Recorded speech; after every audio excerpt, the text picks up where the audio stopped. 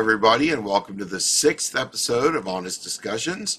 I'm your host, Dr. Brandon Patterson, and today we are going to talk to a bright young mind in Inga Steindal. She's a postdoctoral researcher at the James Cook University in uh, Australia, and her work is really fascinating. She has developed uh, models using cave fish which are those cool fish that live inside caves that turn albino and lose their eyesight. But they turn out to be great models for studying things like convergent evolution, non visual photopigments, and uh, circadian rhythms. We had a really delightful conversation that talked about the research he's done now and her future research, which surrounds studying the breeding cycles of corals and how light and light pollution can affect those. And we also talk about just what it's like to be a postdoctoral researcher in 2023 with all of the benefits and all of the hurdles too. I hope you enjoy this conversation as much as I did. And before we get to the show, if you could please like, share, subscribe. The channel is growing, and uh, but we need your help to get to that 1,000 subscriber mark so we can get monetized, so I can blow this platform up into what it's really meant to be. And uh, any help would be appreciated. So, on that note, on with the show. Yeah, well, actually, now I'm working with corals, but I uh, I think cavefish will always kind of keep close to my heart. So I'll I'll try and explain my rationale behind all of this. So um, I grew up in Norway. Um, the university is really close to where I've grown up, so I kind of felt I needed to get out, basically. Um, and so I, because I speak English, I thought, oh, Britain is a good it's a good place place to go. Speak English, um, close to home, relatively, a couple of hours of flying, and um, got into a, a, very good university. And I started a molecular biology degree, and I've always found so many of these things fascinating. With I've always thought chemistry was interesting. Never really got the hang of physics. Biology is super cool, and I guess when you do a molecular biology degree, everything is so focused on model organisms. And then you always try and translate what happens in a model organism, usually to humans, but also sometimes to, to other systems or animals. And then when I did my, my undergrad and master's, also we had the rise of, of sequencing, right? All of a sudden, all these genomes came out, and suddenly you could do molecular biology that used to only be available to people who worked on Drosophila fruit flies or with mice or rats, all of a sudden that kind of became available to almost any animal that had a genome sequenced. And somebody else would usually pay for it, um, or maybe you pay for it yourself. But there was all of a sudden there were these um, tools available that we, we could use. Um, and then I started um, one of the courses I did during my undergrad was a circadian rhythm course and, and light biology course, and I found it super fascinating. And at the same time, I was doing a project in a cancer lab, which I thought and and kind of hearing about you know that that was my first kind of dip into academia that lab and and the lab work was so much fun um, it was um, cell culture based assays. Um, so I learned a lot of stuff. And um, the tech who worked there used to work for the guy who ran the circadian uh, course. So I asked her, "Oh, is he nice? You know, should I should I go um, and and do my masters there?" And she said, "Yeah, absolutely, you should really go." So, and and he had worked on cavefish before. Um, they've been to Mexico to these caves. So I should probably say a bit about about the cavefish themselves. So um, there are about 300 now different species of cavefish in the world, true cavefish. Um, that is fish that kind of always live in caves. They don't ever swim out of the caves. They're always kind of trapped in the caves. And um, they're only in like 2000 and 10. I think they only knew about 150-ish species or something like that. So they have really discovered a lot of new species um, every year, and particularly in China, they're finding a lot of new cavefish species. Um, almost every year, there's like maybe four or five new new species that are being described. So it's it's a fascinating um, it's a fascinating field. Um, Speaking of China, I really feel for those people right now. Have you heard anything about the flooding there? Have you seen any of it? No, I, I think it also I because there's a flooding in Norway, so my my head has been very focused on the. But I I think there's very there's a lot of underreporting about the what goes on in Asia in general, unless it's economics. I think. Yeah, it's so bad you can't believe it, honestly. Yeah. Yeah. And but uh, the reason that made me think of that is with all of that flooding, uh, you're going to have a mixing of uh, populations of fish between the surface fish and the cave fish. Yes. Yeah. So that's usually how the cave fish come to be. They're not fish that have kind of always evolved in caves. They are fish that um, have been trapped from from the surface and they've been trapped in rivers and um, that could happen if there is a drop in water level. It could happen if there is a flooding and then the water recedes or it could happen over you know a long geological time where water levels drop. Um, and in, in mexico the, the fish that i've been working with these limestone caves you know there's so many different little hollows that have been dug out um, through time. And well, supposedly by the asteroid that killed the dinosaurs, but that remains to be determined. I'm not even going to go into that. um, but the um, um, the cavefish that we have in in, in Mexico, um, there's there's a couple of different species actually, but the most kind of well known one, the the one that we call the Mexican blind cavefish, um, is really cool because it has about over 30 different caves um, over a relatively large um, large area in, in Mexico that also extends a bit into the US and, and Guatemala.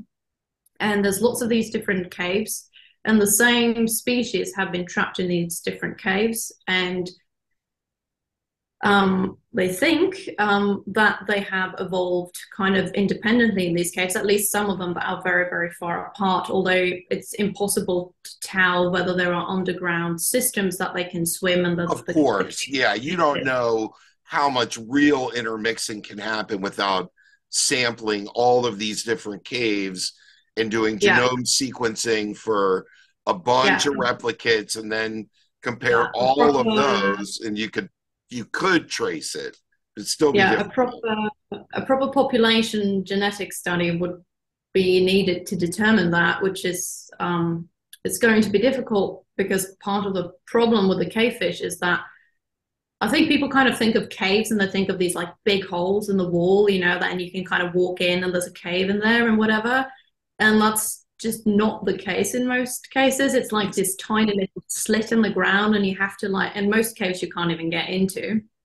Well, um, the, the the spelunkers that scares the that scares me to death when you watch those people go through these crazy caves and they're slithering through 12 inch gaps and on their hands and knees and it's like uh yes and then you have cave diving, which is even more um, sketchy, right? Oh, yeah.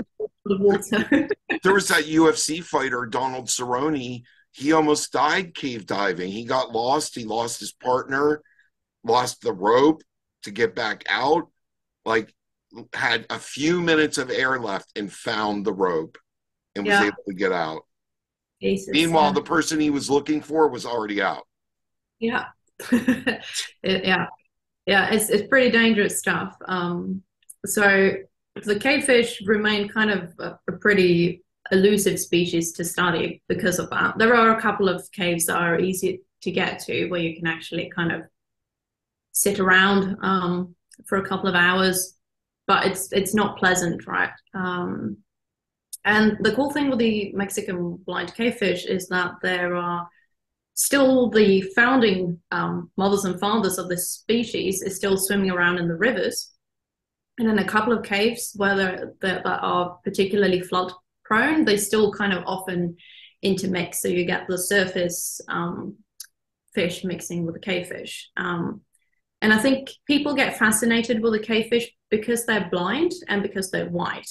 And, and that is because they have evolved to a life in the dark. And almost all the different cavefish species that we see, and also other things like cave invertebrates, you know, any insects, um, spiders, um, they all go white. They all lose their pigment and they use they lose their eyes as well. And there has been some debate for a time why they do that, but it looks at least for the Mexican blind cavefish that the eyes really have a high metabolic demand um, and the brain as well. So when you when you reduce your eye size and and you also then reduce the processing center in your brain, your optic tectum, then you don't need as much um, energy for that. So when they've done these metabolic studies on the cave fishes, they find that the cave fish use a lot less energy than their counterparts, which of course might be for a,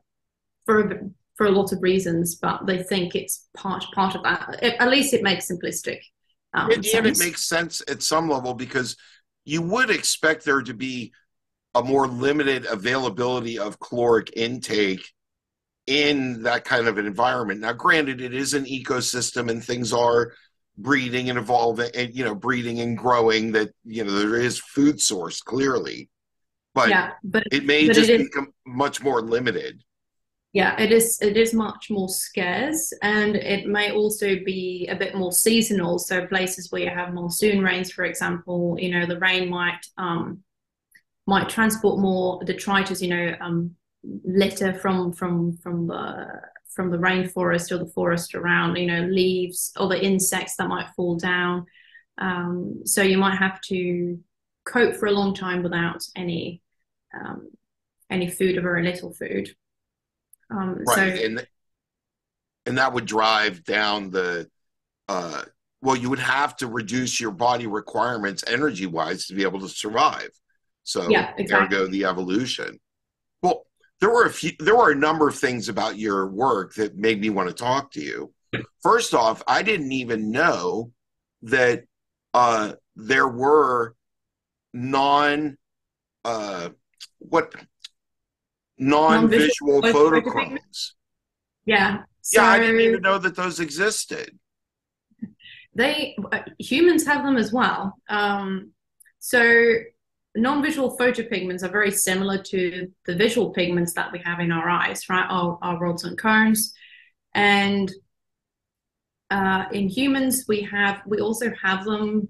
Uh, we have the non-visual ones. So basically, they can't form an image anymore, but they can still detect light. They still have the ability to detect light, and we have them in in our skin, for example. And you know, it makes sense because our skin gets subjected to DNA damage from the sun, etc. So it's you know having having the ability to detect that you are being subjected to to potential damage and being able to turn on your um, your DNA repair machinery, for example, uh, makes makes sense and uh, you also see it, you know, in, in like mice ears and things like that. So the mammals have a lot less of it. It has been lost in mammals, but in, in reptiles and in fish, there are the, the diversity of both visual and non-visual photopigments is crazy. Um, so well, I guess I know about me- uh, melanin, you know, yeah. and I guess I didn't think about that as a uh, a light receptor, but clearly it is because it's sensing the light. And uh, I thought maybe it had something to do with UV sensing or something, but no, it's so. Are there well, like there's lots of different ways for for the body to like um your mitochondria, for example, can also absorb light. So there's more ways to absorb light and detect light or use light than just your photopigments. Um, but I think it's a really underexplored piece of biology. Um, and yeah, like like the zebrafish, for example, we know that they have 32 different non-visual photopigment genes that all code for different photopigments that can all absorb different spectrums of light. And what why do you need 32? You know? Well, let me ask you this. So do all do these photopigment uh, receptors uh, are they all metal containing or are there ones that don't even have metal in them? Do you know?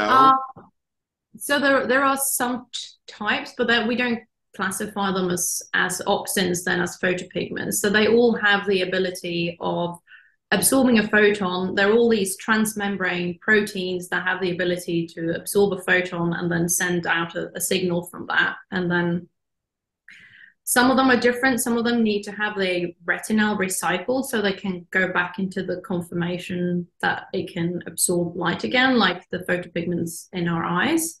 Um, and um, and other ones are actually can absorb in different conformations. Um, and so, for example, uh, and we've known about this in, in humans, I think, since the 80s or 90s. So Melanopsin is, is probably the most famous non-visual photopigment in, in humans. They are also found in, in the eyes and is the reason why people who are blind actually can still maintain a circadian rhythm. So they can still perceive light and their body can still tune their body clock to it, but they can't actually see because it's not their rods, their rods and cones are damaged, but it's but their mela, melanopsin isn't.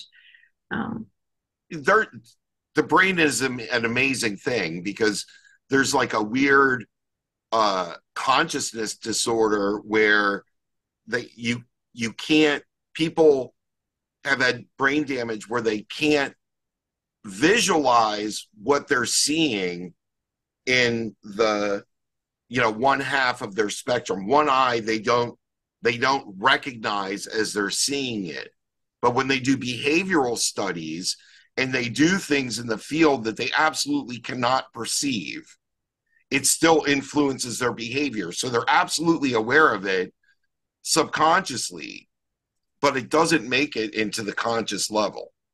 So the you know brains are wild and neurons are wild and can do, and neurons also transmit light, as you said, uh, highly understudied area of how light is used, you know, by life itself.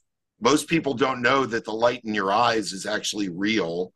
Like anything that is a transmitter is all or any anything that's a receptor is also a transmitter. So people really do have uh, the light in your eyes that's shining, you know. But yeah. But as to your question or as your statement about all the different colors of uh, photopigments or that they can get different wavelengths of light. I mean, I could envision, especially in a in a water environment, and the way that that light is filtered through water and would be filtered differently through clear water versus muddy water versus algae ridden water versus you know name your type of water you would have yeah. a wildly different spectra going on all the time. So maybe, like for something like fish, they just need that many to be really aware of what's going on in their environment at some level. Yeah, it could, it could be. Um, the thing though with with the with these photopigments is that the kind of peak absorptions is over 200 nanometers or so. So you can actually absorb quite a, a lot of you know a, a, lot of different wavelengths within one of these photopigments. So it's not like it, it has a very narrow band where you can actually only like go so it's not really like a filter. They're all kind of just open. If it's above uv they can kind of see it. Well it will, it will be kind of like vaguely blue blue green green yellow you know within these um so it doesn't simplistically it doesn't make sense that there are so many of them. And the other thing that is is strange at least in the little fish and i don't know whether it applies to larger fish um, is that we also find the photopigments in the internal organs. There are less of them but they're still there. So you find them in the liver the gut you know the heart. And you can take the heart out. You can take in, in zebrafish, um, you can take any organ out in culture and you can subject it to a light dark cycle and you can still see beautiful molecular entrained rhythms. So they have the ability to detect light and and and and synchronize their body clock cells to to light. They don't need ice at all. And and the same with the, the cavefish that don't really have proper eyes.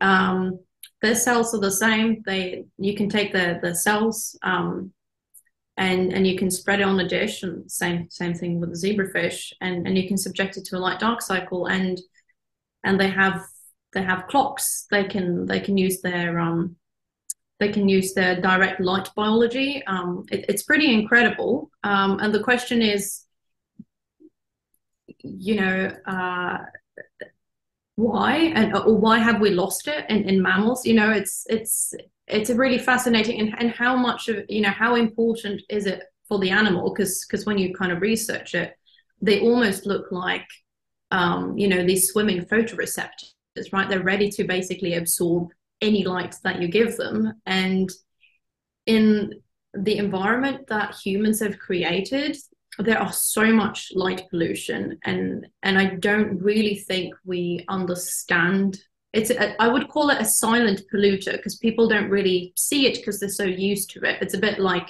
if you're used to a lot of noise you don't really notice it in a way. But it doesn't mean that it doesn't affect you or or the animals um, around you you know the, the ecosystem you surround yourself with. Well number one from from where you're from you have some of the best night skies on the planet. I feel bad because, you know, there's tens of millions of people in the United States that have never really seen the stars because of like never in their whole life. Yeah. I lived on a ranch out in the middle of nowhere, California for a number of years where every night you could see the Milky Way. That'll change your perspective on everything when you can actually see the sky and actually see all the stars and realize that we're a part of a much bigger thing. When you live in the city, I mean, you're lucky if you can see the most prominent stars in the midnight sky, you know, in the midnight sky, really. Yeah. So, uh, here was my next thing that I wanted to talk about a little bit because I'm a cell biologist, and uh, cell biology at some levels comes under attack sometimes because, uh, well, you're just working in a model system and you're just working in a cell culture and you're just, you know, you're you're not looking at it in the the the whole the whole organism and can you really yeah. take anything yeah, sure. from your studies and Meanwhile, I applaud you for making these uh, caves or the cavefish cell lines that are now going to be available for use uh, if people want to research with them. And I, I don't think I just want to put out there that uh, there's been so much discovered in cell lines that it's stupefying. Actually, most of the foundations that we know about in all of biology. Most of that, the most of the foundational work comes from cell biology and cell lines. I mean, we just had. Are you familiar with HeLa cells? Yeah. That that yeah. court case just ended here last week wow. in the United States, where the family of Helen, I forget her last name. Henrietta uh, Lacks. Yes. Yeah. Uh, her family was finally awarded after her cells have been used by practically every cell biologist in the world for the last 30 years or 40 years. Yeah. So uh, maybe you could uh, tell tell tell me a little bit about how you developed the cell lines. Was it hard? Uh, and you know. Yeah. Um, so yeah, I I I think that the cell lines are going to have a new. I think they're going to have a renaissance because um, there has been a really big push in, in the West recently, I think the last kind of four or five years, to really stop using animals for research. And I think there's good reasons for that. And then if you want to continue to do research, you have to test it on, on something. And I think cell lines kind of come up as a as a pretty easy and cheap way of, of doing things, at least initially. Of course you can't really there's there's lots of questions you can't really uh, answer with cell line studies but there are lots of them that you can to, can do. And you can also you know it's a great starting point for many things. You know things might not be worth um, pursuing in, in an animal model if if you already kind of tried it initially in cell lines and you see that actually you know that hypothesis doesn't really work. Um, so with the with the cavefish because they are so rare and when i wanted to do research with them you know often it would take so long and and as people in academia know but perhaps not outside of academia is that every all the work you do is normally within very short time frames right? You get two three or maybe five years to execute a project. So that means that you can't wait for six months or a year or two years for something to to happen an animal to grow. You know the, there are these long lines don't really exist um, in in granting agencies because everything is is determined by who is paying your salary and for your research at the time and they usually want results relatively quickly and, unrealistically and but yeah we'll leave that yeah. alone for a second yeah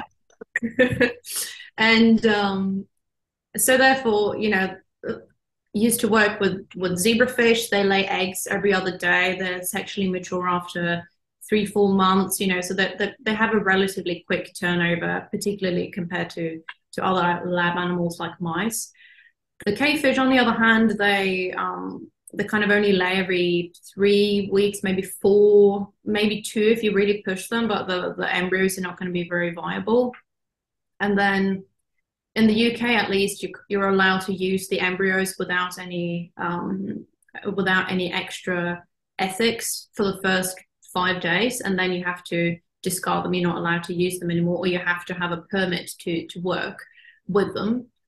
So uh, that's mind-boggling, actually, to me. A little bit for yeah for fish embryos. Yeah, the they're very rapid at developing, so they're already free swimming after 24 hours. But you know, a lot of these things are they're set um, against mice. I think you know a lot of because yeah. Anyway, I can talk about how a lot of these things for fish are really weird. Uh, the rules, like you have to have HEPA filtered air when fish live in water. You know, so see this know, is this is just insanity because these are the things that cost money out mm-hmm. of your project that you can never get back that yeah. don't do anything to facilitate the research yeah and it doesn't help the animals live a better life right because if no, you if, not at all. if you care about animal you know the welfare of of your animals then you want them to to live a, a good a life as possible when when they're in the lab and and um, HEPA filtered air is not going to do it. They also have strange rules for culling fish where you're supposed to, yeah, it's horrible. You're supposed to use um, things that basically make them jump out of the water and try and kill themselves by beaching themselves, while the alternative is to put them in ice cold water and they die within a couple of seconds. That's not allowed. So it's these really strange, horrible rules. Um, and well, I can see why you're not a fan of uh, animal research. I mean, this is my feelings on animal research are that with the advent of organoids and our ability to grow them, uh, what what's better, testing in a macaque, which okay, it's barely related to humans actually. I mean, even though they say, oh well, it's you know 95% the same genome.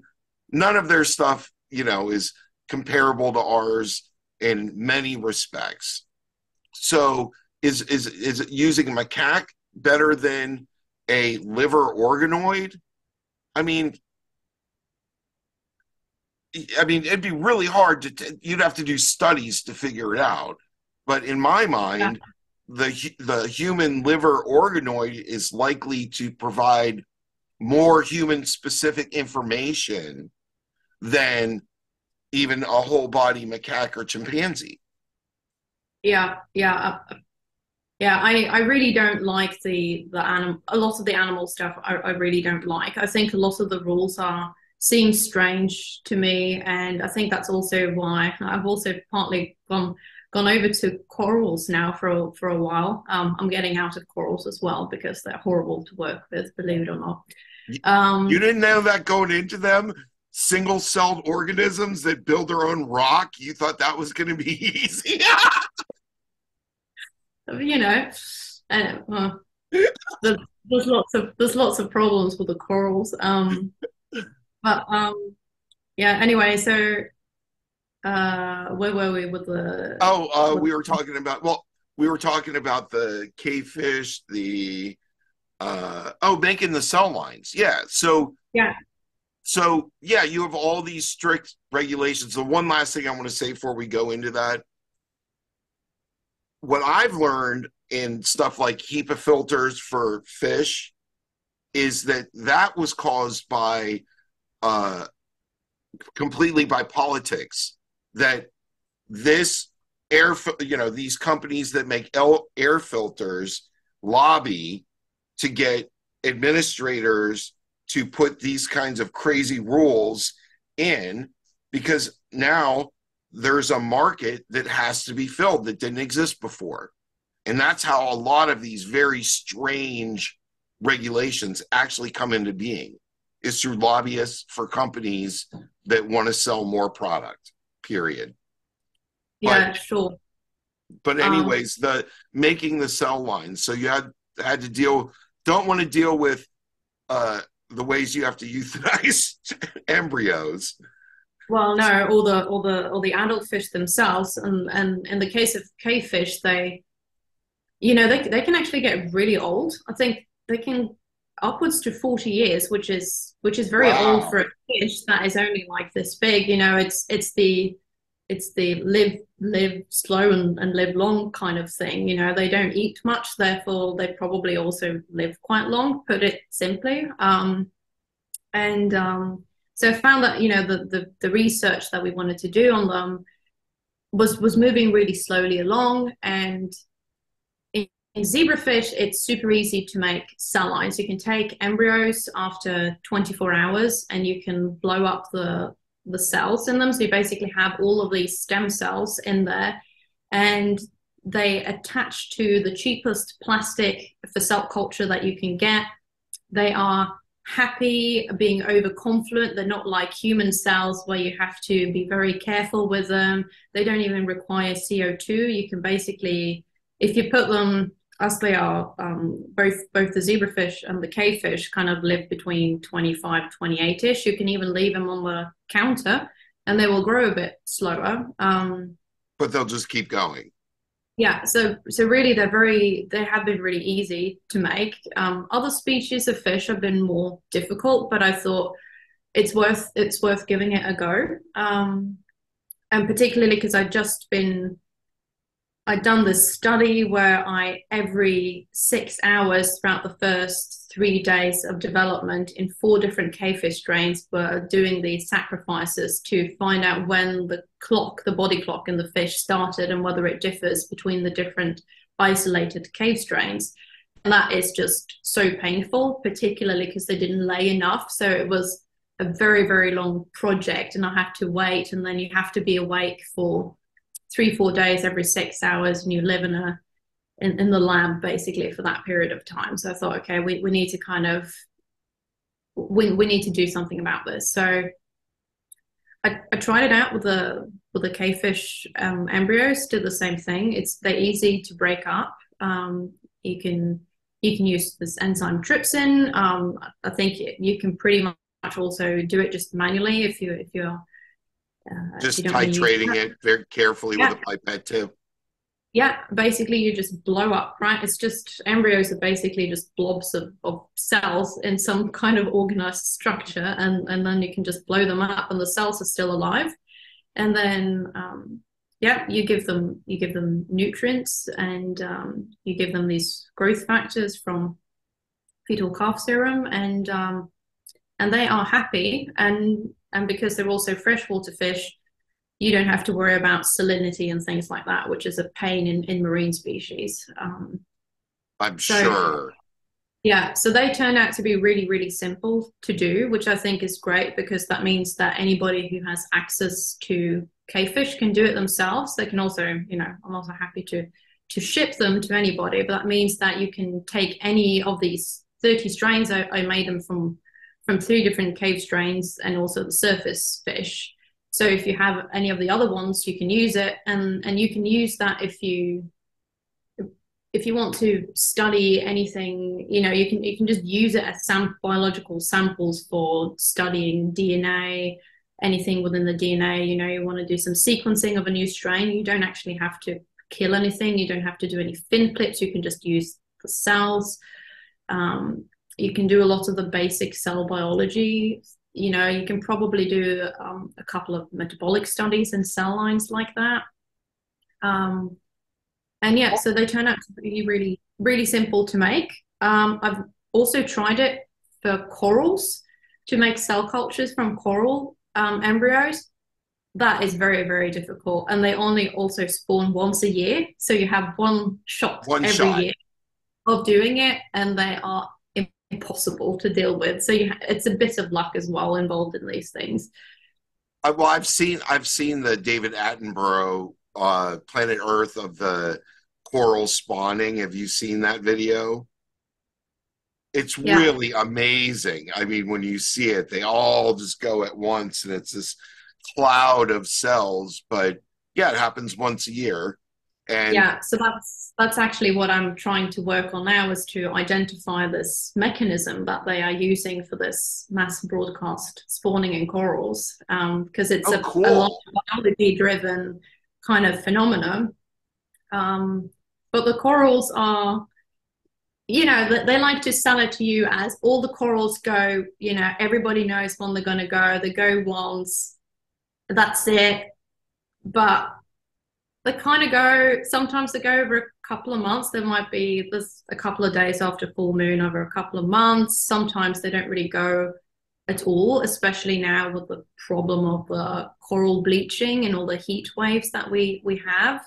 Um, and and they require the whole year to basically gather enough nutrients um, to do one one of these really big spawns. And when the quality is poor um, they might choose to skip or they might just trickle a little bit um, and um, yeah so they they are much more it, it's not i mean it is pretty amazing on, on the reef because it does happen um, yeah but i'm sure they had to record for years to get that one bloom that was like worthy of putting on the show. They didn't get that the first on their first try i guarantee it. Yeah they might have they, they pretty easy to when you take like this um up here in Townsville, we have a sea simulator um, out at the marine station, and um, which is pretty amazing. And then they house hundreds of corals during each spawning, and and they do really like if you do put a camera there, you will be able to to film it. Um, but you might be there for several nights before it happens because knowing exactly what day post full moon they're going to go is not like sometimes it's day two sometimes it's day four sometimes it's day five so you have to you know you have to be there every be night there. look and wait and see um, and then and, and, and then you might get individual from one species that won't go because obviously we've taken the corals out of the sea and put them into a system, an artificial system, and then they get put back again after it's it's done, but they get stressed by these things. So, um, of course, but yeah, that is also another really cool bit of of light biology, non-visual light biology, where they can actually detect the very very faint full moon.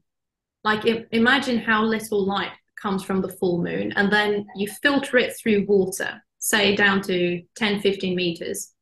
And then you have an animal that doesn't have eyes, it, right? That doesn't have any structures to detect photons, um, specialized structure to detect photons. And then they only rely on their non visual photopigments to detect the moonlight to go, okay, full moon is now.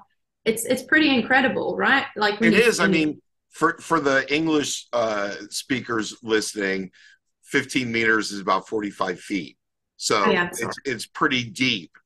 Well, I don't know why the whole world is not on the metric system. I mean, clearly, as a scientist, base 10 is the easiest thing in the world. I'll never yeah. understand why America didn't change over. But uh, it, it really is. I mean, people could say, oh, well, you know, you can walk on a full moon, you can walk through the woods at night. And that's true. But you're. Yeah, but we have eyes. It, we Number one, we have eyes.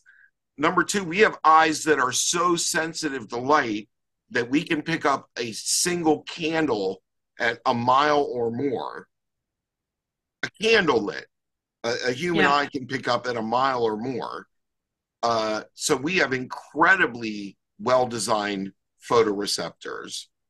And we're not yeah. 45 feet under the water, which yeah. may or may not have debris in it from a storm that may or may not have lots of uh, canopy over top of it because of uh, kelp or something growing and in, and yet they yeah. can still detect this tiny amount of light that must get down there.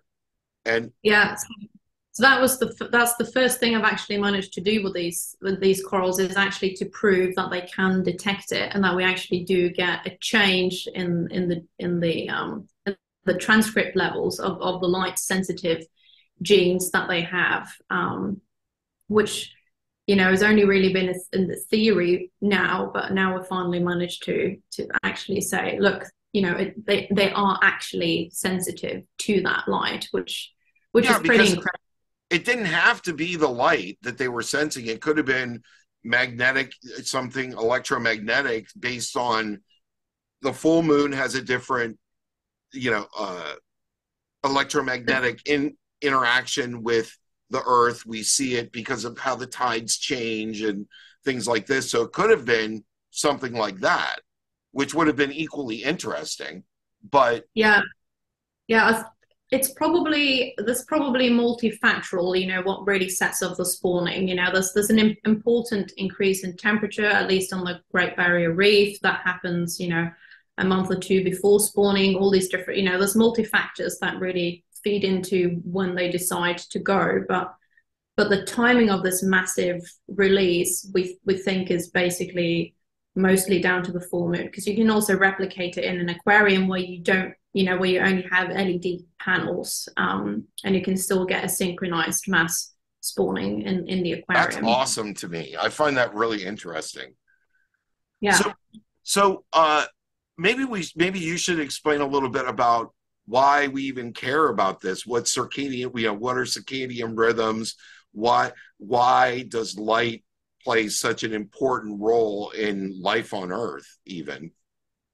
Yeah i think it's i think it's really funny because it's the one thing that almost all animals do is they have some sort of, of rhythm and we really don't think about it because we're so used to it happening to us. I don't but know if, if, if, mine gets disturbed. I think about it a lot. yeah, well, I think people notice their sleep, but I think that's basically the only thing they really kind of notice is their sleep, right? Which is one of the outputs of, of a circadian clock is, is your sleep timing. But if you think about it, you know, like when when when life have evolved, so much have happened, right? You've had glaciers forming, you have continents drifting backwards and forwards, you've had temperatures, you know, rising, fall, you know, there's been so much change. But the thing that has basically remained pretty constant is that the Earth is spinning on its own axis, right? You have day night differences and it's tilting. So you also have seasonal differences, at least um, away from, from equator. You have these big changes in, in day um, length, depending on what time of year it is.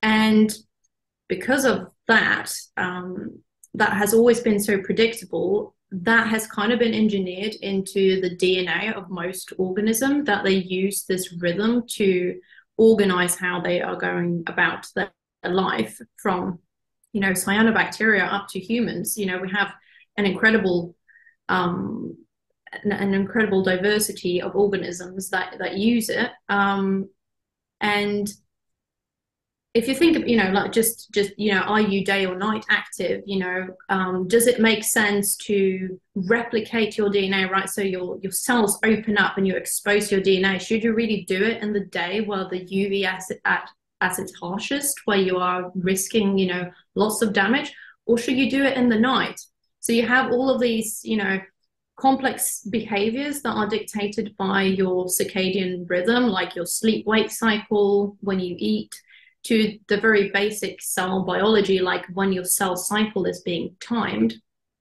And we see it throughout lots of different animals.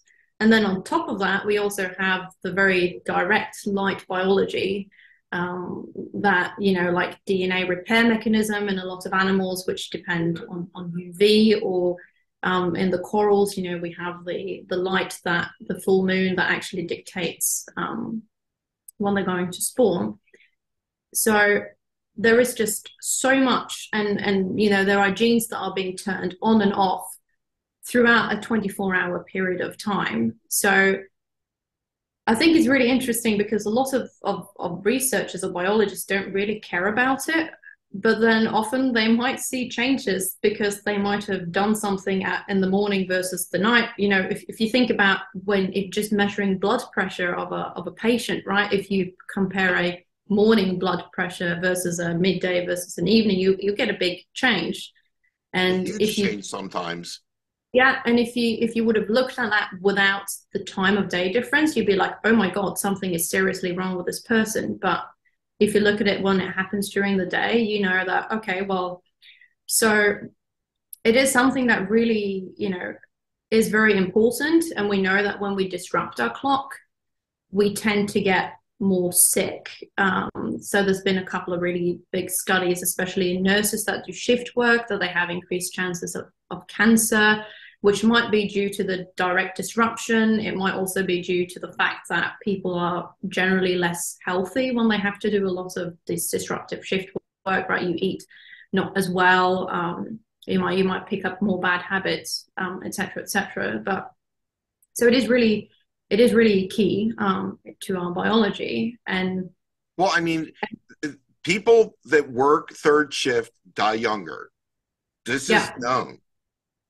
People that have to work at night do tend to have immune system issues. They do get sick more often.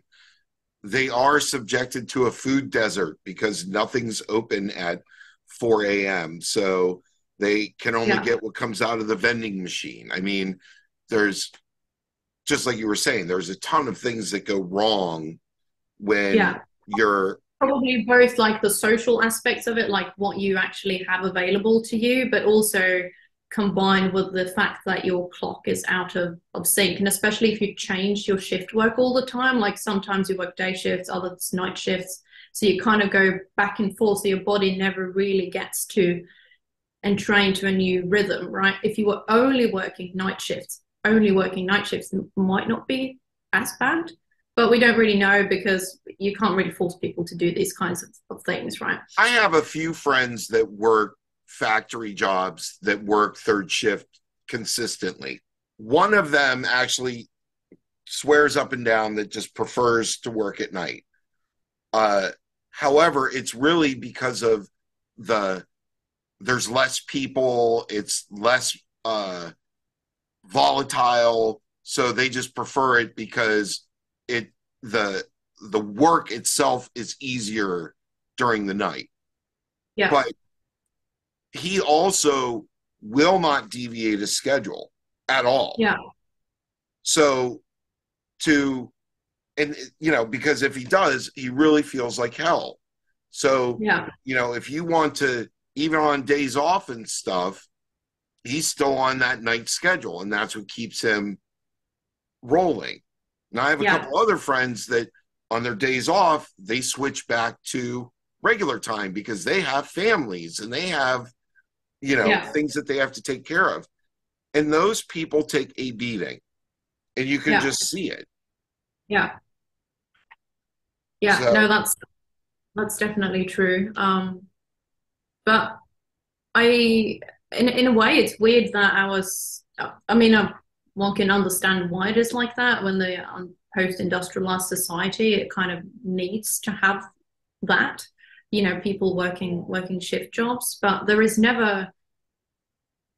You know, there's no compensation schemes or anything like that for people's, you know, health or, or whatever. And it is something that is just generally not really you know there's just so many examples of, of, why it is really important to be aware of it um, in both in humans and also in, in nature in, in general. And um, you know like they things like and, and the thing the, the funny thing is like a lot of it is pretty cheap and easy to to do right? It's, it's about maintaining a regular you know light dark cycle these kinds of things. And and there's been a couple of studies in in cancer patients where if they kind of get a uh, if they get their chemo or their drugs in a certain timing they might have a higher chance of tumor regression than other patients. These kinds of things where it's like the only thing you're really changing is when you administer a drug for example.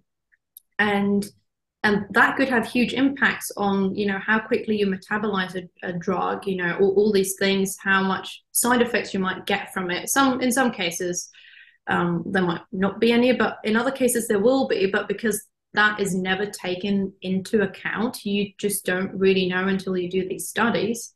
Um, and, and it probably has so much potential.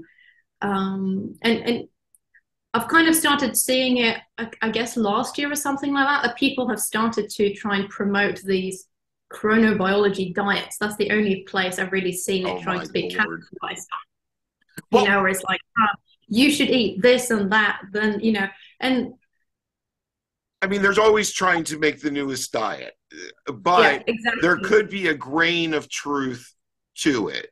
There could be It a could grain of truth to it.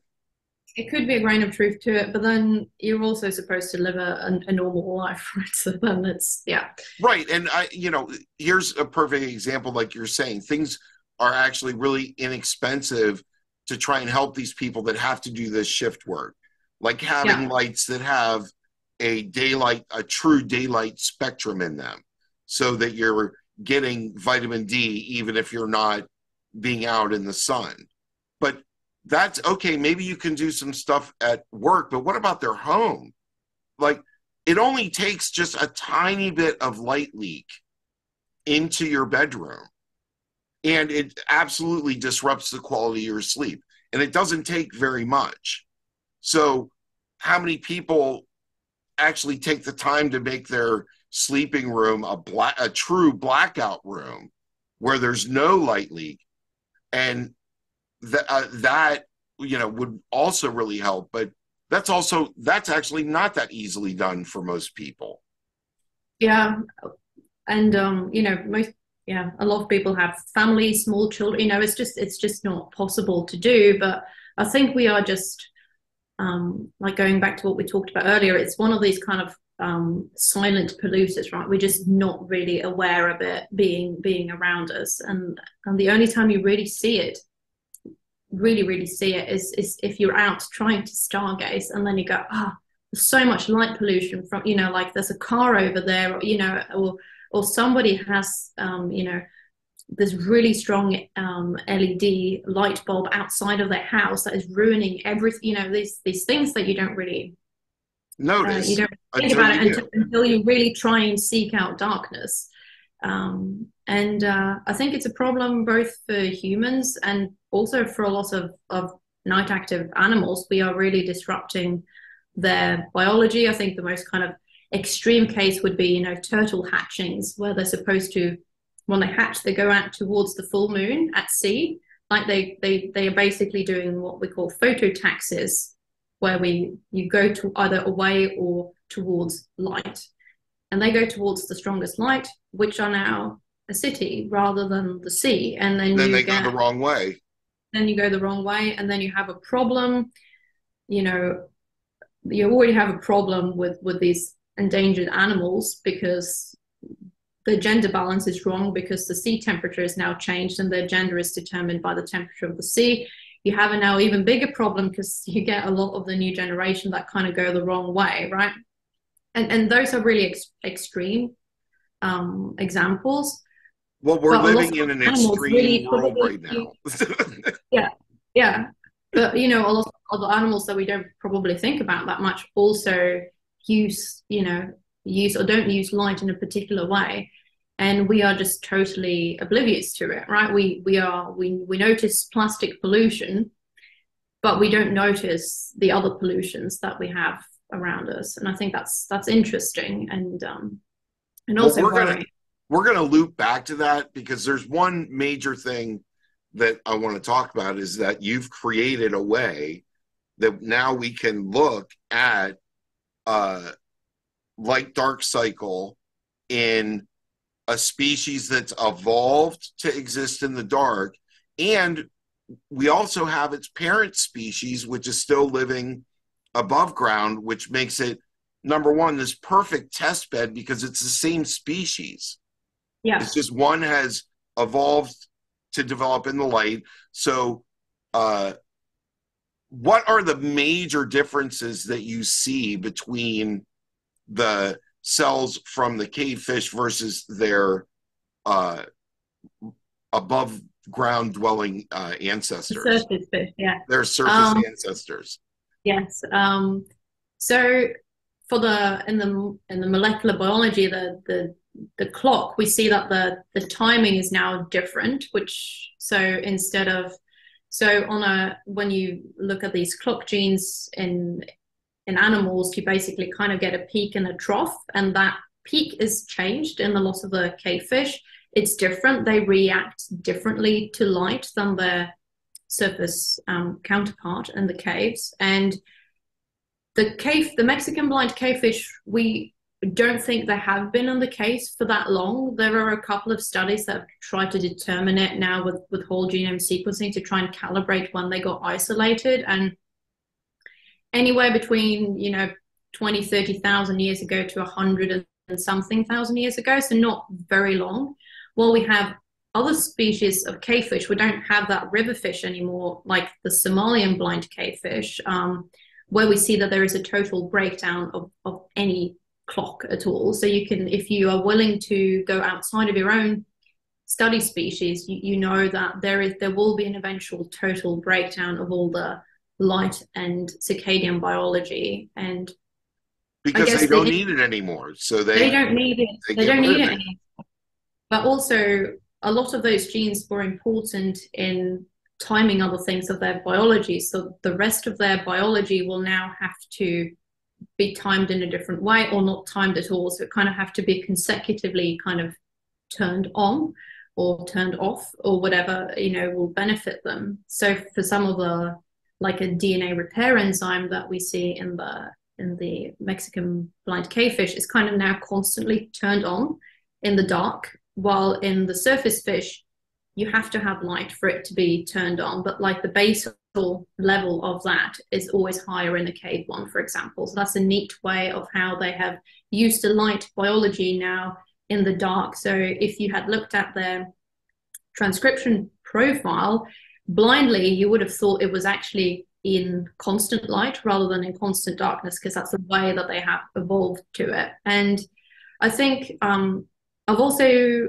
uh, back in 2017 i went on this deep sea cruise and tried to fish for some deep sea fish another type of animal that have adapted to the dark. And they cavefish are difficult. Deep sea fish are different level of difficult to work with i have to say. And that, then you want to talk about cost of, of doing research, that's like, yeah, I think one day of, of a cruise like that is 50,000 euros per day. Yeah. Wow. Yeah. I didn't pay yeah, I'm a fisherman and I'm, wow. so, so the samples you get from those things, right, are, are super, super important. But I think, and the craziest think, looking things ever, like anglerfish and stuff like that. Just yeah, insane looking species. Yeah, because um, yeah, especially in that kind of that area around a thousand to 500 meters, you still have a tiny, tiny bit of light in the in the sea. So you still have ice on the fish, and you have these other crazy adaptations that that still means that they can take advantage of light, and they have bioluminescence there as well, so they can signal to each other, or they can avoid prey or attract prey using using light. So so they're they're pretty cool. They're, but I think we can learn. I think it's a kind of a classic biological view of things that you can learn things about how you work yourself or how humans work or how the animals work by studying something that works in the complete opposite way, right? So you go, okay, 100%, 100%.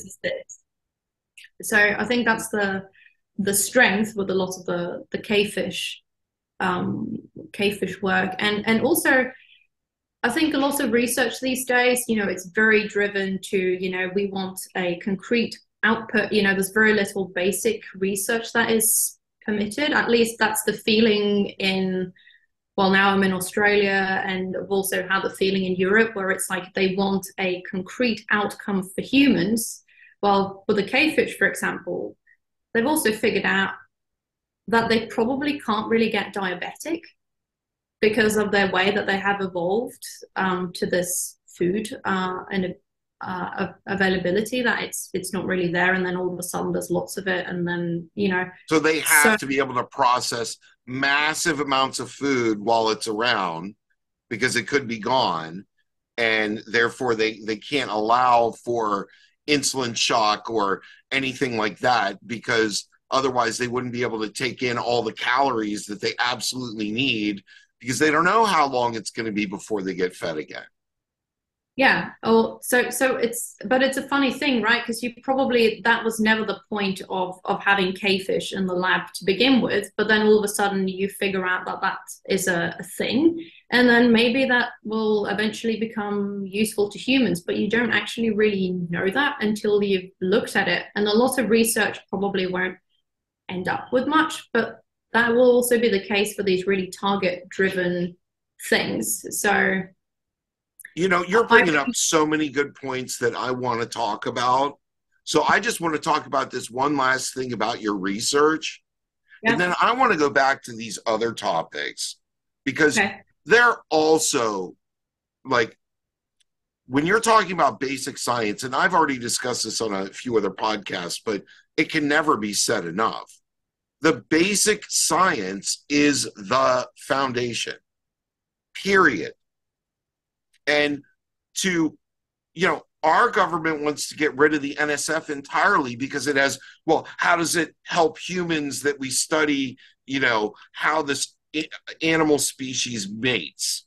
Why is that important? Well, you don't know why it's important necessarily. So you tear it apart but you might find that in this study of this one animal's mating behavior, you solve 20 different questions that you had no idea that you were going to solve to begin with.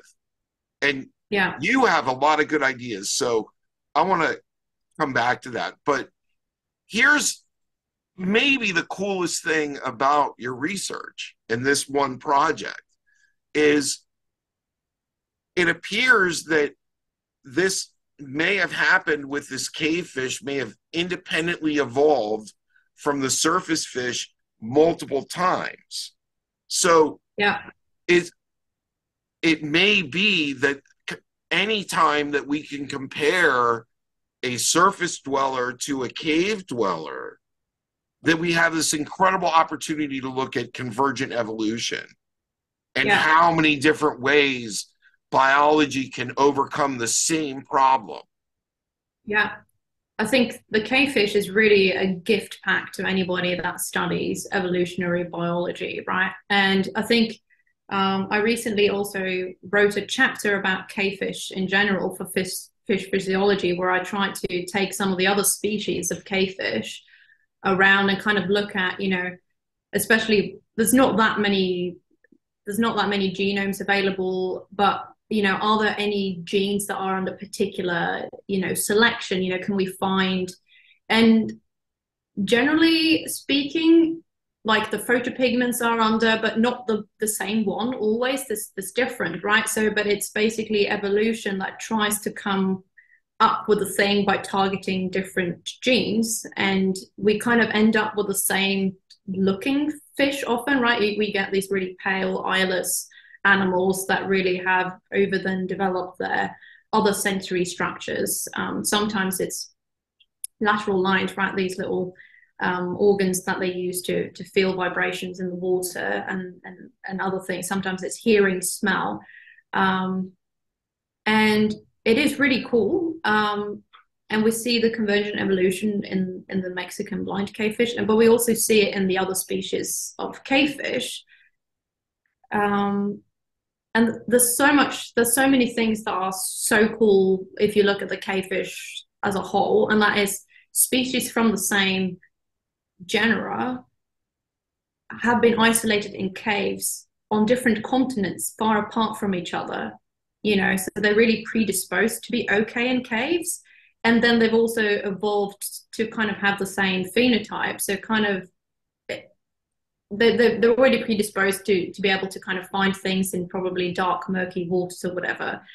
But then there have been a cave there and then they have been isolated there and then they have managed to both survive there and evolve for tens of thousands of years. You know maybe one in africa and one in australia. How incredible is that independent of each other? Yeah absolutely.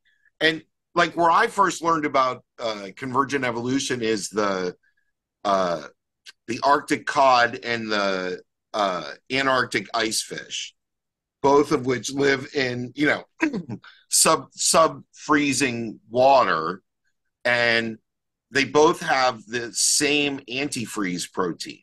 It's the exact same peptide, but it was created uh, in two totally different ways genetically. One was and and from different gene products, completely different gene products, but ultimately made the same exact antifreeze peptide. So that was where I learned about it. I was like, wow, that's you know really cool. But from a perspective of what you're talking about, who knows how much we can learn? Uh, a number one, like, well, why did this cave fish population have have a much better uh, vertical line uh, improvement in their sensory perception, but this other one didn't? They're both successful. Why is this one's lateral line more sensitive than this one? you know, and then vice versa. Well, this one can smell food, you know, uh, half a mile away in the cave, and the other one can't, but they still both exist. They still look very similar. Why do these things happen? You know, can we learn something about how their environment changed that why one would be different from the other? But then, even just to compare the genes and proteins they make themselves as to well these ones are mod did you find any proteins that were modified differently in one versus the other like specific proteins either activity and or uh, G- proteins themselves so most of the work that we have done and other people as well is on transcript level only right so it's just mRNA, basically. Um, but I think now that especially proteomics and phosphoproteomics are have really kind of evolved quite a bit in in their accuracy. I think that might be a technology that is now worth trying out on on some of these because this is always the the criticism for for working with transcripts, right? With with with what? So for the people who don't know, DNA makes RNA, right? That's the that's the recipe for the proteins. But one piece of RNA doesn't make one piece of protein. And slightly different RNA might mean that the protein is folded slightly differently and they will do different things, or they might get different um, post um, translational mutations. Yeah, right. So um, so so you can't take a transcript and say okay well then it does this as a protein it doesn't it doesn't work like that but due to the kind of technology and it used to only be like antibodies that you could really do which is really expensive and it also means that you have to buy a couple of rabbits and inject you know all these things that that you it, and not it, only gets, that you end up with data that's not quanti- not easily to quantitate and yeah, allows exactly. and allows people to publish uh, lots of very dubious uh, work to yeah. say the least yeah, so for that reason, um, we haven't re- we don't have much protein data on on the cavefish, unfortunately. But I think that that would be a lot of the next level um, things, and and but as like far you as said, I, it's coming. Yeah, as as far as I can can tell from people who know proteomics and, and mass spec as a technology, it seems like that is something that is evolving even faster now than sequencing technology. And it will actually be pretty affordable because that's another thing when, when, when you do research, right? You have to, if you don't have a massive grant, you have to really budget, you know, am I going to spend money on this or am I going to spend money on that? I might get some data from this and I might not get some data from that. You know, that's very that's too exploratory. Um, you know, should I really put my eggs in that basket? So, um, well, this so, brings us back to what we should probably be talking about, and that is, and that is when when you have. I don't think most people realize how hard it is to get funding as an academic scientist, and it's because we have to do things that people want to fund. They want yeah. to fund this thing. Now, what also happens in that case, though, is that the people that are delivering the money for the funding, well, they're influenced by how well rated was your publication? How what's your pedigree? What universities did you attend? Who were your mentors? Uh, the what are the what are the perceived chances of you succeeding? You know, yeah. so many of those things are well, actually, they're all qualitative. They're all qualitative. So it's really just kind of a beauty pageant. It not it's not what people think it is that oh you write this great proposal and you know it's all about just how what are the merits of it. It really has very little to do with the merits of it and a lot more to do with the politics of it. And then on top of that the people that are really in control are not even scientists for the most part. They're governmental figures or they're CEOs of nonprofits that don't understand the science at all. And therefore, they're listening to advisors who, if they're biased, can make the things go whatever way they want. And and what it and what it does is it leads to the only projects that get funded are things that are supposedly low risk high impact, but really they're all high risk, high impact because all science is pretty risky. And then yeah. uh, you end up with, and you don't get to research any of these cool things like you're doing because, or it's hard to get funding for those things because you don't have the the crystal ball to tell you all of the interesting science and discovery that will come out of the project you have an idea, but you don't know. Well, it's kind of easy to sweep cave fish back into the cave now, isn't it? yeah. Yeah, absolutely. Yeah, no, I think there's so much that can be said for the the grant funding systems, right? I think at the I mean, and they also go in waves, right? If if economies are doing really well, there's usually more money for research. It's a you know it kind of usually tracks with culture as well you know that if there's a bloom in culture there's also a bloom in, in science basically. But i think when you are um, you are down between 5 and 10% chance of getting funding that means that you have to put in somewhere between 10 and 20 grants each year every other year or whatever in order to cover, you know, to say, well, at least statistically now I, I might may or may not get get a grant, right? And that is you spend a lot of time writing things and thinking of you spend things. more time do you personally spend more time writing grants than you do in the lab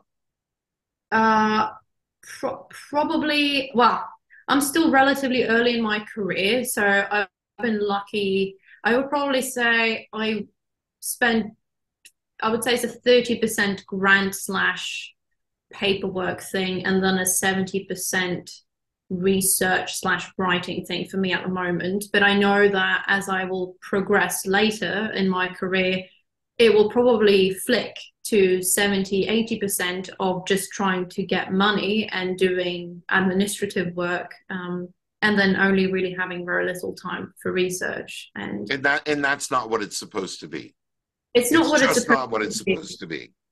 And i think also the current the current system that we have is also not great because it selects for people who can do a little bit of everything, but it selects out people who, so you have to be quite good at writing, you have to be quite good at giving presentations, you have to have okay ideas, you have to be able to execute them, and you have to be able to to write a paper and something.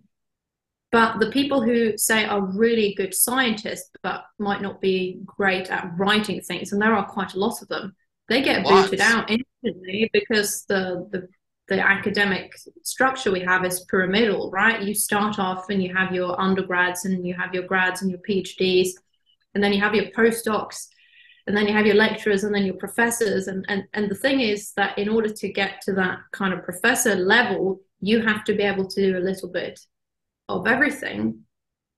And you the people who just want to to sit there and potter around and do research who, who might be really good at that. They're not respected. That they're not respected and you're not going to get any grants because you're not writing them because they're not good enough or you might not be good enough at writing papers. And i, I, I see it particularly with um, maybe the generation of a couple of generations over me uh, like researchers from other countries that don't speak English that well because they never learned it in school really struggle. You know, some of them are brilliant scientists with really good ideas and they have really great merits, and then it kind of just stops because they don't have the intricate English skills that you need in order to to write something that that is good and, and concise. And they just get, you know, they are never going to do science again. And I think that is a big that is a big problem. It's and, criminal. It really yeah. is. It's like, you know, they make us compete. Scientists should not be competing. And I don't know what the system is where we don't compete, but yeah. ultimately there will be less r- fraudulent research. That's a number one.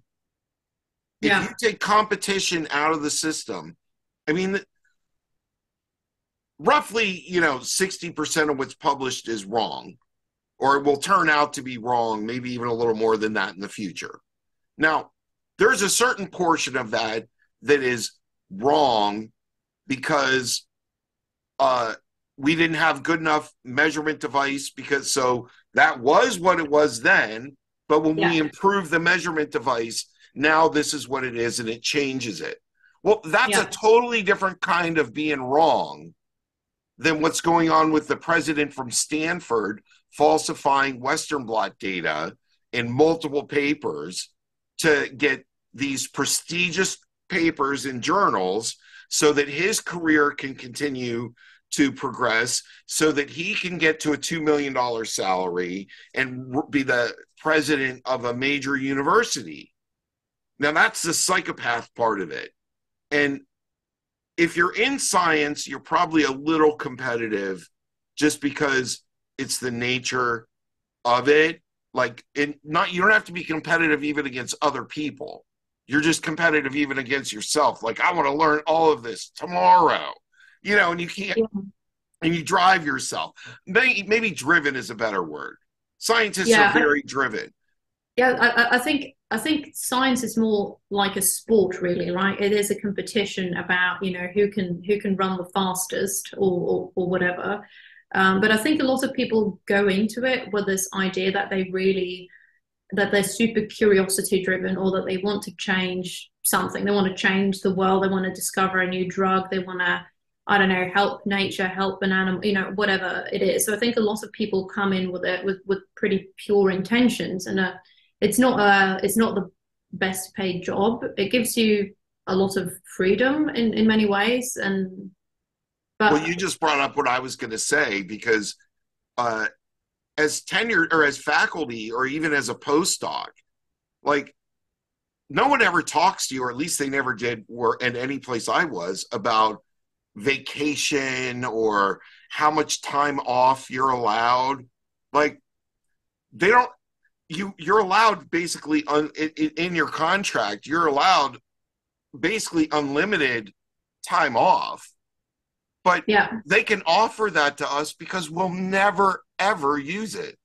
Exactly. This is the thing, right? You, you, and it's it's it's also strange because some universities will will also make you take holiday, which is like you have to take holiday and and and then people you know sit there and have like a month of holiday and then they're in their office but they're not really supposed to be in in their office. And I think in many ways it's great because if you you know if anything happens in your family or something like that you can really um, unless you of course lecture or something like that you can you can usually step out for a couple of weeks and nothing and the world won't fall apart. Yeah. Yeah exactly. And, and nobody will be be upset. And i think that's one of the greatest things um, but of course that that shrinks the the higher up the pyramid you get because more and more people are getting dependent on you and you you know you you have students that work under you you have other postdocs that work you have maybe if you have a, a big lab you might have a couple of tech people. So so you know it, it it normally foster you have there is a lot of responsibility that you usually end up with anyway. And and then there's lecturing and then there's exam grading and then there's all the other things that you might or may not have to do. And then all of these courses that you might have to now sit where you get questioned you know what what are the values you know how how are you training your people to be the best versions of themselves or whatever. So um it's yeah i think that that freedom disappears relatively quickly as well but you can take it if you if if you time it correctly. Um, my my deal when i was a postdoc is if i published a paper that i allowed myself a week off like that was my till i published 14 papers in a year and then i was like oh you can't really take a week off every time you publish a paper. But uh well it just so happened that way. Some of them were hung up in the pipeline for a very long time. You know what I mean? That people don't realize sometimes papers can be, you can have a result for years, many years sometimes, before anybody ever really knows about it outside yeah. of people at meetings because you can't get it published. Or, yeah. you know, get re- spend five, six months at Nature and they reject it, but you're like, well, it almost got in, so let me send it to Science. And then you let it spend eight months at Science and then it gets rejected. And then you're like, well, let me send it to PLOS Biology. And then you let it there for five months and then it gets rejected. And then you're like, well, let me send it to PLOS One. And then all of a sudden that takes six months. And then it finally gets published. I mean, I had a paper like that. And it's, to my knowledge, it's either the first or one of the very first uh, neuronal organoids that was ever published. And they just wouldn't publish it. No. I mean, it was in Nature Neuroscience. I, I, I did the whole gambit. I was like, no, we have a hippocampus growing in a dish. Like, this is amazing. yeah. And uh, no, you don't. And everything you're looking at is just happenstance. Those are not parallel fibers that you're looking at. I mean, we had these parallel fibers growing in a dish and curling around, just like you would see in a rat brain, that were you know hundreds of microns long. And you know, because you could move multiple microscope fields and still be on the same parallel lines. And got rejected at Nature Neuroscience because no, we you know even though we showed the proteins that are in those cells were expressed there, even though we went back and did umpteen number of experiments. Yes, they have these receptors. Yes, they you know they have calcium oscillations the way they're supposed to. Da da da. da. No, because we can't. You can't grow a brain in a dish. And I wish I hadn't thrown those first reviews away because I would love to post them now. You know what I mean? Yeah. Now that neuronal organoids are kind of like hot stuff, you know, it's like one of the big deals right now. Yeah. And that kind of stuff happens. Yeah. Yeah, I guess. I mean, that's that's the other thing that is very strange with science is the whole publishing thing, right? It's the the fact that you pay people to publish your research and that you do work for free to review other people's work for journals and, and all these things. Oh, on on top of the the taxpayers pay for you to pay the journal to publish the work, your research that the taxpayers also help to fund if you have government funding. But the taxpayer also has to pay to read the journal that they paid Yeah. for the work and they paid to have it published. Yeah, It's insanity.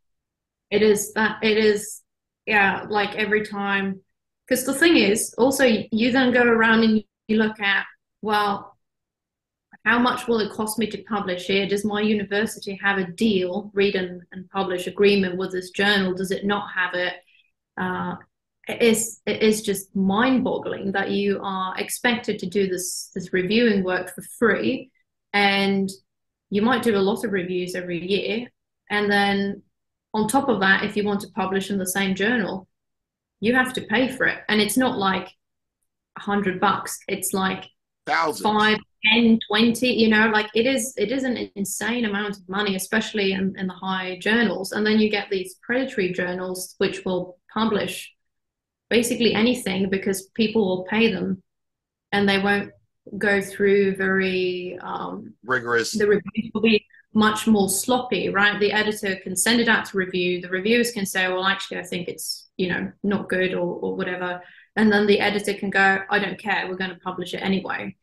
So they can say it's been through review, but then actually it hasn't really. So it's it's another part of, of science that is just incredible. And and it's also funny that these people who are supposedly so smart are agreeing to this system. And I mean, I'm one of Well, them because it's your currency, your publications are your currency, right? And I think this Well, pre I'm not speaking for you, but what I do Yeah. want to say is part of what I want to do with this is I'm really hoping to organ like that this will start some kind of trickle down organizing where because for me to get out I've been out of academia for a decade. So I can look at it having been in it, but I can also look at it a much better now as an outsider yeah, and uh, I think that we are desperate as a scientific community for kind of the next Copenhagen interpretation of how you're even supposed to do science. How are we going to? How much is being wasted with so many people doing the same experiments around the world? Why are we doing that? For competition. How much money is being wasted on negative results not being published yeah, so that I don't go try and do the same one because it doesn't work. Look, it doesn't work. See, I already did it. Here's 10 replicates. This thing does not work this way. You can't get that published. Meanwhile, to 10 labs around the world, you might have saved them a million dollars if they had that information. Yeah, it is. It is a big. It is a really, really big problem. Um, and it is. It is incredible that it is like that because it's.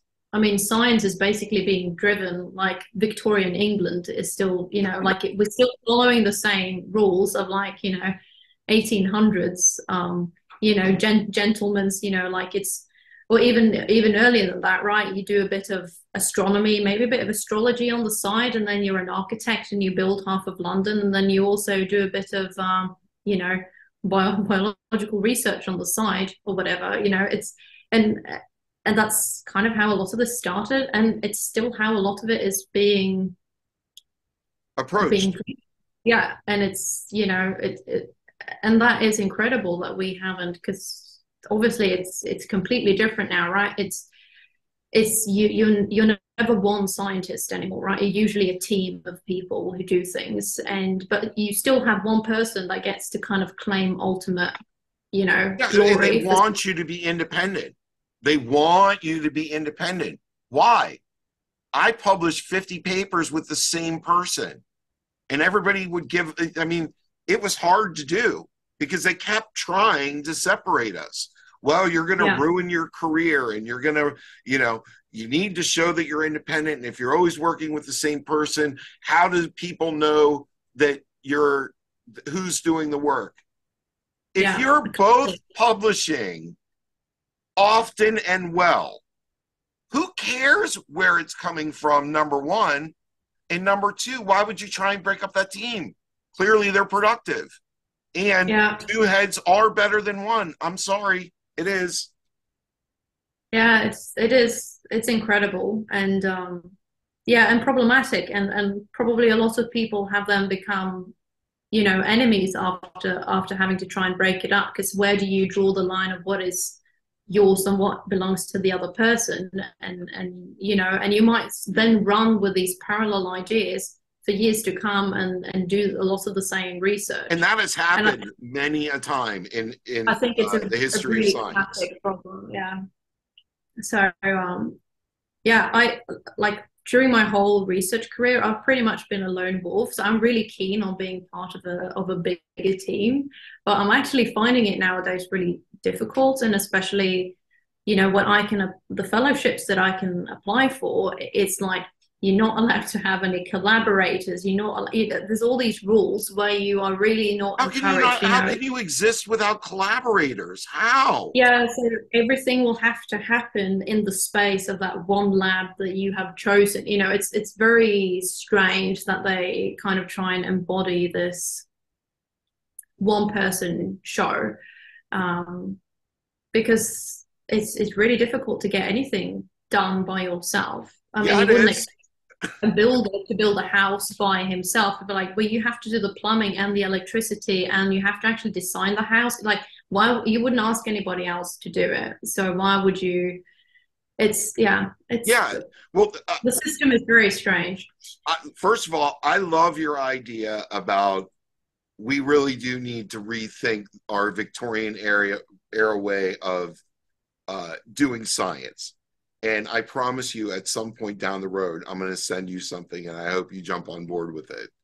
But to to to kind of wrap this up on a positive note, what what do you love about being a scientist? What what is the thing that makes you get out of bed in the morning and be like because we we're all like this we all think about what's going on in the lab and you know where is that next data coming from for me to analyze and what do you love about it Well, I think part, well, if we're going to start with the negative first, I think a part of it is just fear that you really have to get your stuff done. If not, your, you know, your, your career is over. Um, but the, the freedom of being a scientist and being allowed to kind of go down and explore a lot of different pathways, um, are, is incredible, right? And especially the way I set myself up, right? I have this core molecular biology base, and then I can basically work with any animal that I find interesting, right? I'm interested in seasonal biology. I'm interested in light biology. So, like, I have this this base, and then I have a couple of techniques in the lab that I know work really well, and then I can, you know, I I, I get to go to beautiful locations, field work. You know, currently at the Great Barrier Reef, um, incredible, right? oh Not yeah spoiled. not a lot of people get to go and do those things. And you sometimes you have to you know we like to complain a lot uh, but sometimes you also just have to take a step back and go look you know i'm so lucky that i get to really just explore the world um, and and how it works and and how it fits together. And okay it's a very very small piece of the puzzle but it's nonetheless really interesting. And and I think getting a graph where you have statistical significance, it's like when you really thought that something is, and then you get the data that something you know that, that you get you know, your hypothesis gets confirmed is like and to anybody else it's just this like badly plotted thing in excel right your initial thing and you just go like but that bar is like this and that bar is like that and look at the statistics it adds up and and you just and i think and then you only live on that for like five minutes and then you have to go do something else but i think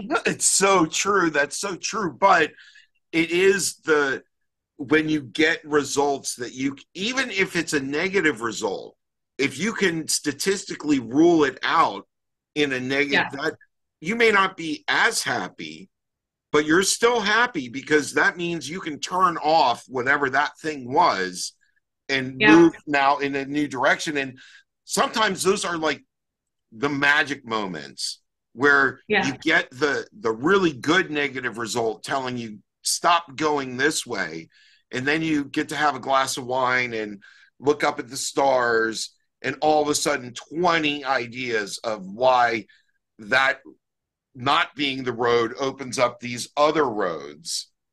Yeah, it's just mentally exciting. And it's i think that like we're having a great conversation and you can see in our face you can see in our faces the excitement when we talk about certain things.